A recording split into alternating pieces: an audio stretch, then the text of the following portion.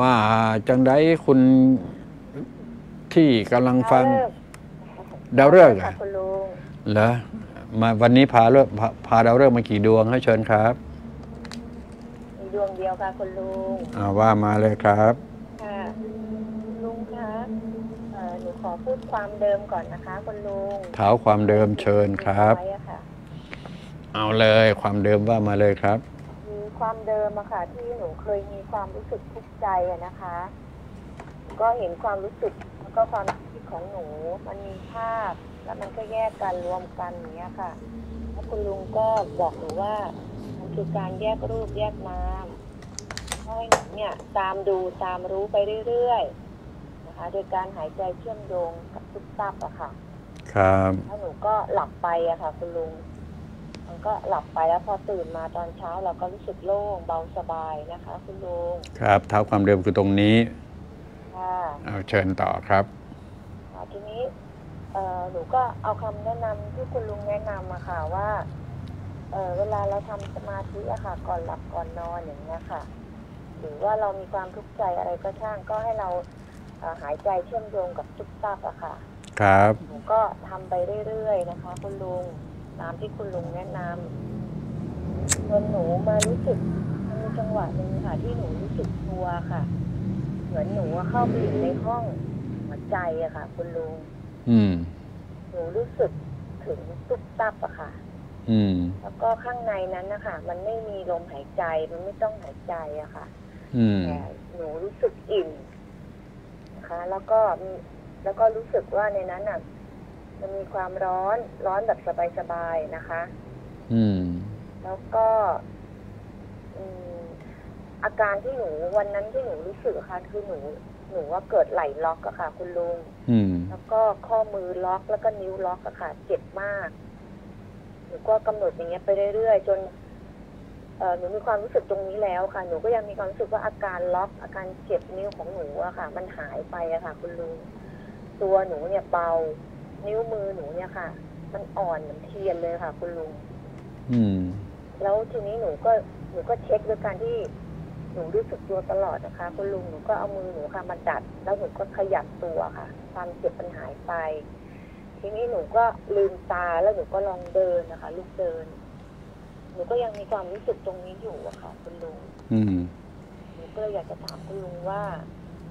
เออมันคืออะไรอะค่ะคุณลุงตอบเลยนะฮะ นี่แหละคือจิตรักษากายนะครับค่ะนั่นแหละคือจิตรักษากายจิตเป็นนายกายเป็นบ่าวนะครับ นั่นก็คือได้แหละก็แปลว่ารักษาตัวเองได้แล้วนะนั่นนะค่ะจิตรักษากายจำเลยครับตัวนี้จำเลย นี่ผมภาษาผมล็อกเลยนะค่ะนั่นแหละครับ ดีมากดีใจด้วยครับ ที่สามารถที่จะรักษาตัวเองความจริงก็ก็รักษาตัวเองมาตลอดอยู่แล้วใช่ไหม หลังจากตัวมันล็อกมาตั้งกี่ปีใช่ไหมลองลองเท้าความเดิมๆให้กับผู้ที่เอ่ออยู่ในบ้านเราดัทีวีได้รู้จักโดยรวมหรือตัวกันก่อนที่มารู้จักลุงหงอเนี่ยครับก่อนหน้านั้นร่างกายเป็นไงครับลองเท้าความให้หมดทั้งสุดๆเลยครับ เชิญครับค่ะเดิมเดิมๆเป็นยังไงร่างกาย ค่ะคุณลุงคือถ้าเป็นอย่างที่เขาบอกนะคะ ตามที่เขาบอกอะค่ะ อาการก็คือ ที่เขาเรียกว่าโรคอะค่ะคุณลุงครับก็คือรูมาตอยด์ค่ะ คุณลุงอืมหนูเป็นมานี่ก็เกือบสิบห้าปีแล้วค่ะ คุณลุงอืมค่ะ ก่อนเจอคุณลุงอะค่ะ ก็คือ นิ้วทุกเอ่อข้อทุกข้อในร่างกายอะค่ะ ล็อกมากกว่าสามสิบข้อขึ้นไปอืมคือมันมีทั้งหมดร้อยแปดข้อหรือเปล่าหนูไม่ทราบแล้วค่ะคุณลุงแต่ว่ามันข้อใหญ่ๆทุกข้อมันล็อกหมดเลยอะค่ะเหลืออย่างเดียวก็คือแค่ หลังกว่านี้ได้ไหมครับ ได้ค่ะคุณลุง เออ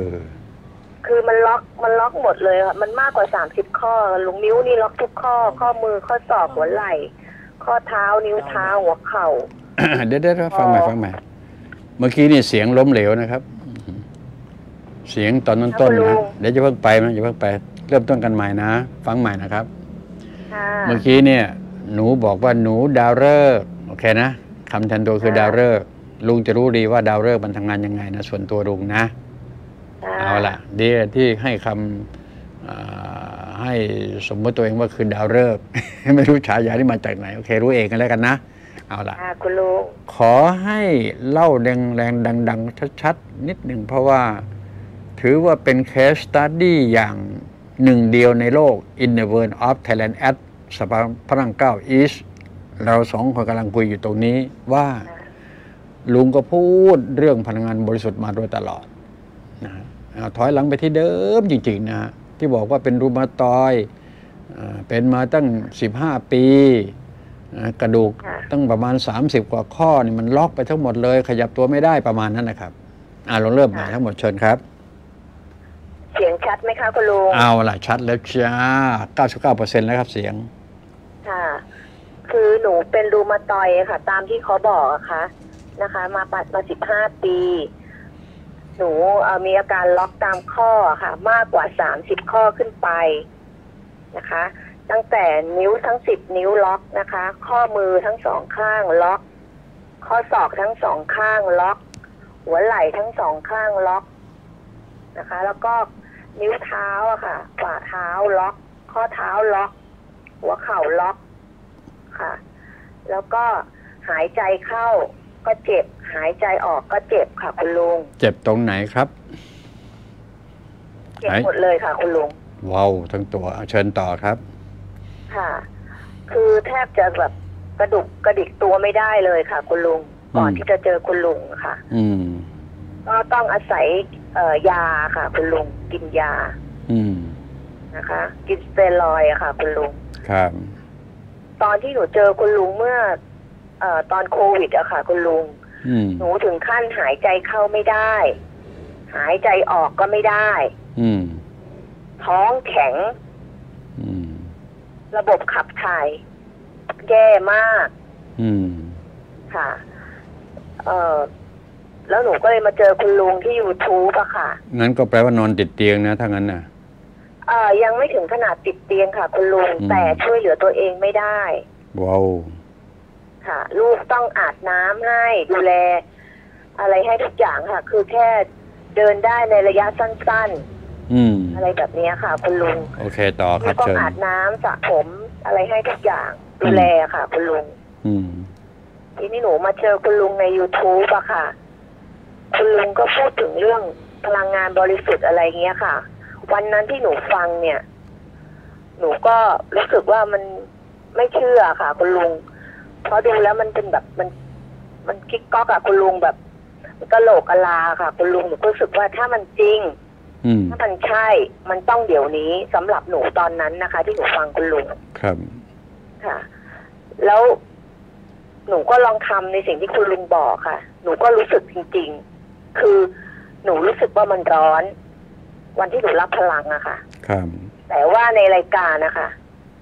มีคนหนึ่งผู้ชายคนหนึ่งชื่อพี่ทีอะค่ะ พูดออกมาว่า จริง ๆ แล้วเนี่ยมันมีความรู้สึกภายในกับภายนอกนะ อืมหนูว่าไม่รู้หรอกว่าไอ้ความรู้สึกภายในมันคืออะไรคำว่าทีคือไตเติ้ลแมนใช่ไหมครับ ใช่ค่ะแต่โอเคเจนแมนเขาพูดว่ามันมีความรู้สึกภายในครับแต่ภายนอกเนี่ยหนูก็พอจะรู้สึกแล้วล่ะว่ามันวุบวุบวับวับอะไรอย่างเงี้ยแล้วก็ร้อนๆอะไรอย่างเงี้ย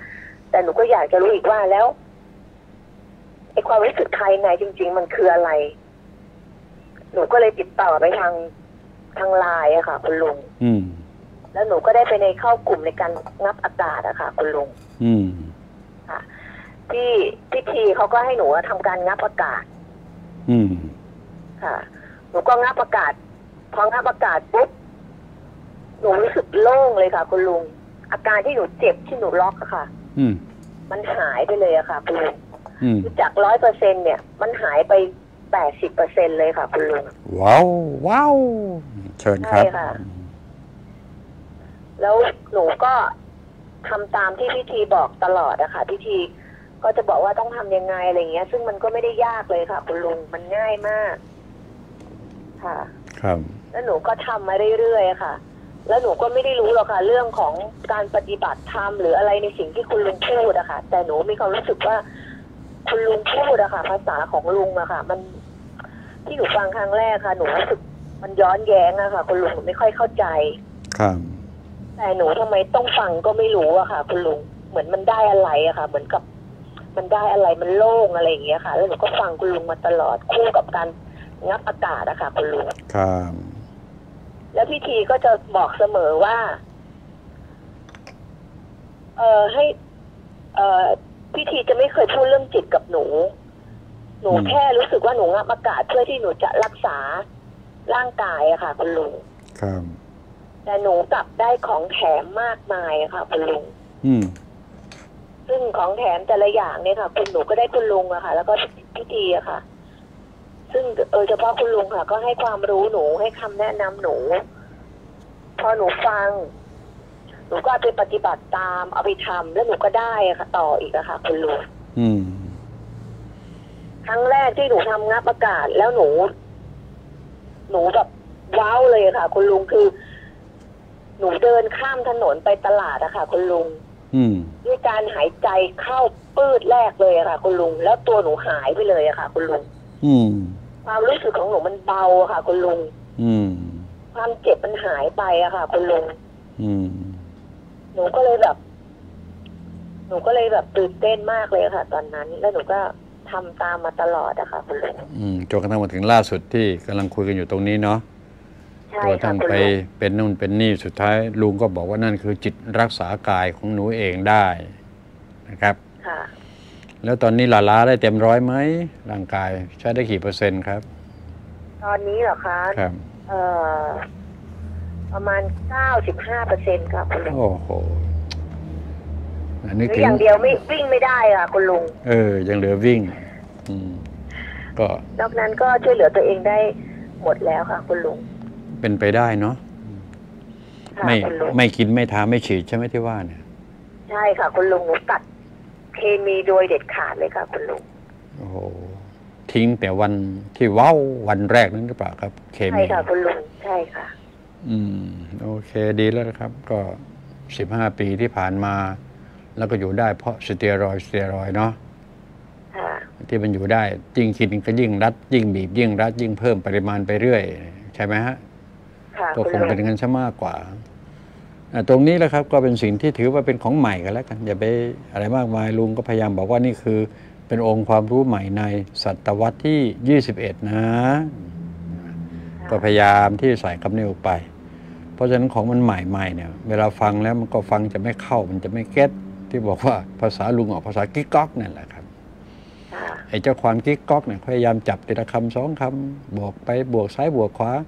อีกอย่างตัวเราก็เป็นคือไม่มีทางเลือกแล้วอะนะมันไปทางอื่นไม่ได้แล้ว อยู่ๆมันก็มาป๊อกแป๊กกันทางอากาศอย่างนี้เป็นต้นนะถ้าหากว่าพูดในเรื่องของบุญนะเนาะมัน ก็บุญนำพาวาสนานำส่งอะไรทำนองนั้นแหละ ถ้าจะยึดคำว่าบุญเป็นหลักในการพิจารณาเพิ่มเติมมาถึงทุกวันนี้นะบุญมันมีจริงไหมมาถึงวันนี้ลุงก็บอกว่าบุญคือความเข้าใจนะ มันมีแน่นอนอยู่แล้วบุญมันเป็นนามธรรมใช่นะ แต่วันนี้มาปรับคำว่าบุญคือความเข้าใจ เพราะฉะนั้นการทำด้วยตัวเองก็เข้าใจในตัวเอง ปรับปรุงมาเรื่อย เข้าใจในสิ่งที่ไตเติ้ลแมนเขาแนะนำในแต่ละช็อตแต่ละช็อตเรื่องของการหายใจ ประกอบกับเวลาฟังลุงมาเรื่อยๆเหนื่อยก็ไม่ได้พักประมาณนั้นนะครับ มันก็มีผลถึงขนาดนี้ก็ถือว่าสุดยอดปรารถนาแล้วนะครับ เรื่องรูมาตอยเนี่ยครับ ตรงนี้เวลาไปหาแพทย์ก็บอกว่าไม่หายไม่หายนะ ให้รู้ไว้นะแต่เขาก็ให้กินไม่มีเขาไม่มีทางเลือกนะครับแล้วก็มีอยู่แค่นั้น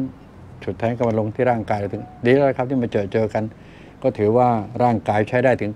95เปอร์เซ็นต์ผิวพรรณเป็นไงผิวพรรณโอ้หน้านี่ใสแดงเลยค่ะ คุณลุงแก้มแดงเลยค่ะ โอ้โหยแก้มแดงโทษทีขออนุญาตหเพิ่นูมขอเติมโทษนะคะ คุณลุงอ่าจากประจำเดือนหนูไม่มา จนประจำเดือนหนูมาค่ะ คุณลุงร่างกายแบบฟื้น จากเนื้อที่หนูแห้งๆเหี่ยวๆตอนเนี้ยค่ะ คือแบบ ตึงมากเลยค่ะหน้าใสกิ๊กเลยค่ะ คุณลุงอืมหือมีแบบรูปเปรียบเทียบอะค่ะคุณลุงแบบแบบชัดมากเลยอะค่ะ ได้ถ่ายรูปถ่ายอะไรต่างๆไปไหมครับ ตอนนี้เป็นเป็นมากมีค่ะคุณลุงมีถ่ายรูปค่ะๆโอ้โหเก็บเป็นอัลบั้มได้เลยนะทำเป็นสตอรี่ได้เลยนะค่ะว่างๆก็คิดๆทำๆเอาภาพนั้นมาติดต่อ เขียนไปทางนั้นก็เขียนไป ได้จับจากอะไร ก็อธิบายความเป็นจริงเผื่อเวลาคนอื่นเขาอยากจะรู้ตามเรานะครับนะนี่ก็คือสิ่งที่มันมันมันไม่มีใครรู้มากไปกว่าตัวเราเนาะช่มีค่ะตัวเราท่านจะรู้เราดีที่สุด เราเชื่อเขามามากมานานแล้วจนกระทั่งร่างกายเราก็ ก็จะย่ำแย่แล้วสิบห้าปีที่ผ่านมาเนี่ยโอ้โหมันนั่นนะนะใช่ค่ะมันทำอะไรไม่ได้เลยอะที่ว่านะใช่ค่ะคุณลุงถ้าไม่มีลูกยุ่งเลยขนาดคุณหมอเองอะค่ะคุณลุง เขาเขารักษาหนูใช่ไหมคะเขาพูดกับหนูว่าเขาไม่รู้ว่าโรคเนี้ย สาเหตุเกิดจากอะไร แล้วบอกไม่ได้ด้วยว่ารักษาแล้วจะหายไหมบางคนรักษาแล้วก็ไม่หาย บางคนไม่ต้องรักษาก็หายเอง หนูก็งงกับคำตอบเขาอะค่ะคุณลุงอืม ก็นั่นก็คือวิชาชีพทางด้านการแพทย์ใช่ค่ะเขาได้แค่นั้นคือแค่นั้นดีนะก็ยังบอกเราว่าไม่หาย เราจะได้หาทางออกทางด้านอื่น ส่วนหนึ่งแล้วก็มากด้วยลองนั่นสิลองนั่นสิลองไปลองมาจนกระทั่งหมดตัวหมดเงินไม่เท่าไหร่ครับที่ว่าเนี่ยสิบห้าปีที่ผ่านมาประมวลได้ไหมครับ หมดใช่ไหมคะ อืมโหเยอะมากค่ะคุณลุงอืมไปมาทุกที่ทำทุกอย่างใครว่าที่ไหนดี ทั้งเครื่ององค์ทรงเจ้าเอาทุกอย่างคุณลุงไปมาหมดแล้วค่ะ อืม สุดท้ายสุด แพท้ายทย์แผนทางเลือกทั้งไสยศาสตร์วิทยาศาสตร์หนูไปมาหมดเลยค่ะคุณลุงไปจนกระตั้งหมดทั้งเนื้ออาหมดหารตัวการกินใครว่าอะไรดีหนูกินหมดค่ะมีฐานะดีๆจนกระทั่งกลับกลายจนแทบจะไม่มีฐานะอะไรเลยประมาณนั้นเนาะใช่ค่ะคุณลุงหามาก็มารักษาตัวเองหมดอะค่ะหนูขายทุกอย่างอะค่ะคุณลุงโอ้โห ดีแล้วเงินฟื้นทอฟูงได้ก็แล้วขายหมดเลยค่ะคุณลุงอ่า รักษาชีวิตเนาะค่ะเอาครับสุดแท้วเวลามาได้ก็ไม่ได้ใช้อะไรเลยเนี่ยของเปล่าๆไม่กินไม่ทำไม่ฉีดกับโอเคเนาะใช่ค่ะคุณเอาลุงละทั้งหมดเนี่ยผมสรุปเรียบร้อยนะคือ จิตรักษากายตัวเองได้เรียบร้อยแล้วนะนะค่ะคุณลุงเดี๋ยววันผมใช้คำว่าเป็นเป็นภาษาสุดท้ายเมื่อกี้เนี่ย โอเคนะค่ะเอาละค่ะถือว่าคุณลุงโอกาสที่ผมจะพูดเป็นเด็ดเบ็ดเสด็จขาดให้ มีไม่กี่คนนะ บอกให้ทราบไว้นะครับ ทางฝั่งคุณก็ถือว่าได้รับแล้ว แต่ก่อนก็บอกว่าเออตามดูตามรู้ใช่ไหมล่ะค่ะแต่วันนี้ได้ชัดเจนแล้วว่านี่คือจิตรักษากายได้แน่นอน มันเป็นภาษาพุทธศาสตร์มาตลอดนะครับ เรื่องนี้นะค่ะจิตเป็นนายกายเป็นเบาโอเคนะตกลงแค่นี้ไหมค่ะก็แค่นี้ค่ะคุณลุงโอเคด้วยความยินดีค่ะเข้าใจค่ะ บอกชื่อตรงๆหน่อยได้ไหมเนี่ย ชื่อชื่อนามสกุลหนูใช่ไหมคะค่ะหนูชื่อจริงหนูชื่อพัทรานิด นามสกุลอัศวัฒนาพงศ์ค่ะ โอเครับทราบอายุตาม47 ปีค่ะ คุณลุง47ใช่เหรอตอนนี้กลับมาเป็น14ยังสาวอองแอะยัง ตอนนี้หน้าเด็กกว่าลูกอีกค่ะ คุณลุง อะไรมันจะขนาดนั้น เขานึกว่าหนูเป็นเป็นพี่เป็นพี่ลูกลูกสาวหนูค่ะนึกว่าพี่น้องกันค่ะ คุณลุง โอ้โห ขนาดนั้นนะ โอ้โหเหลือเชื่อเหลือเชื่อใช่ค่ะ เกินความเชื่อเหนือความจริง เอาละนี่คือศักยภาพของพลังงานบริสุทธิ์ที่ลุงรู้เข้าใจและเข้าถึงจึง เอามาใช้ได้อย่างสง่างามสมศักดิ์ศรีของการเป็นมนุษย์ที่อยู่ร่วมโลกเดียวกันเนาะสุดท้ายเลยนะครับว่า หลังจากมาใช้บริการลุงถามตรงเลยครับใช้เงินใช้ทองกี่บาทครับ ที่ใช้กับลุงเนี่ยยังไม่เสียเงินสักบาทเลยค่ะคุณลุง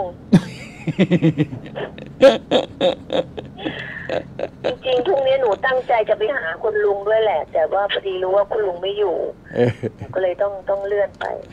โอเค ส่งข่าวคราวไปยังยินดีกับลูกสาวสองคนด้วยนะ ได้ค่ะคุณลุงอ่าดูแลให้ค่ะดีคุณลุงครับ ขอบพระคุณคุณลุงนะคะ และขอบคุณพี่ทีด้วยนะคะ โอเครับทราบตรงนี้ด้วยกัน ขอบคุณคค่ะรับสวัสดีครับสวัสดีครับค่ะขอบคุณค่ะ สวัสดีค่ะ ครับผม โอเคหนึ่งในเจ็ดแปดพัน ล้านคนกันแล้วกันง่ายดี ที่ได้รับจากสิ่งที่นะท่านที่อยู่หน้าจอที่เคาผมก็พยายามบอกแล้วว่านะผมจะให้ดูก็ได้ทั้งหมดที่ผ่านมาเนี่ย ผมก็ตั้งต้นเนี่ยคำคำนี้นะฮะมาตั้งแต่ไหนๆแล้วนะเนี่ยอ่านดีๆเลยครับ อย่าเชื่อ อย่าเชื่อ อ่านดีๆจะชัดประกาศเป็นหน้าแรกเลยนะครับ อ่านให้ทันนะ จะแช่ไว้นานๆให้ท่านอ่านอืมเอาอ่าน ได้นะ อย่าเชื่อเครื่องหมายตกใจอย่างแรงเลยไหมครับ เชื่อง่ายโง่มาก เชื่อยากโง่น้อย ไม่เชื่อไม่โง่ หรือโง่ดักดาน สรุป เชื่อก็โง่ ไม่เชื่อก็โง่ ต่อมาทำยังไงจึงจะไม่โง่ ก็ต้องหาความจริงในสิ่งที่เชื่อและ สิ่งที่ไม่เชื่อด้วยนะ คุณโยมโตแล้วนะครับโอเคนะ ความเชื่อไม่ใช่ความผิด ไม่เชื่อก็ไม่ใช่ความผิดเช่นเดียวกัน แต่ความจริงมันซ่อนอยู่ในความเชื่อและไม่เชื่อด้วย ใครก็ตามที่เจอความจริงของจริงตรงนั้น แต่ลุงเจอเรียบร้อยแล้ว จึงเอามาใช้ให้เกิดประโยชน์โดยรวมโดยทั่วหน้ากันสำหรับท่านที่อยู่หน้าจอที่เคารพครับวันนี้ มีอะไรเพิ่มเติมอีกไหมเนี่ย เดี๋ยวผมขอตรวจความสุดท้ายก่อนนะฮะ ก่อนจะจากกันวันนี้นะครับ